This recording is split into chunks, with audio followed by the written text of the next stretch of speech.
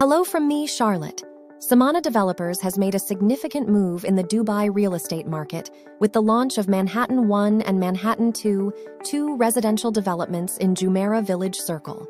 These projects, with a combined value of AED 500 million, have garnered substantial interest, with Manhattan 1 already sold out and Manhattan 2 achieving a 70% sellout rate. Imran Farooq, the CEO of Samana Developers, expressed enthusiasm for the company's performance and noted their commitment to timely delivery, which is boosting confidence among stakeholders.